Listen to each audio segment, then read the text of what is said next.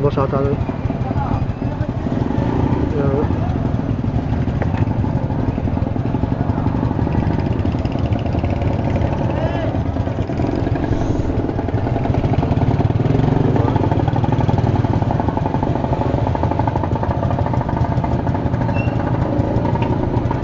Labas kayo? Lalabas? Hindi?